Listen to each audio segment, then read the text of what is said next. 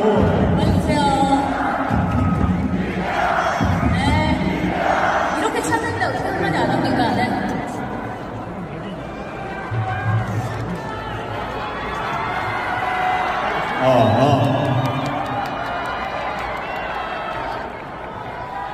어, 딱 하나 말씀드리고 싶은 거는 여러분이 저에게 사랑 줬던 것보다 제가 여러분을 더 사랑한다는 거를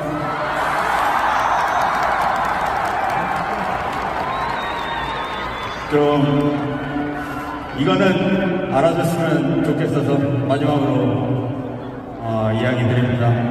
팬 여러분들 사랑합니다. 사랑합니다. 아, 갑자기 태원의 고백을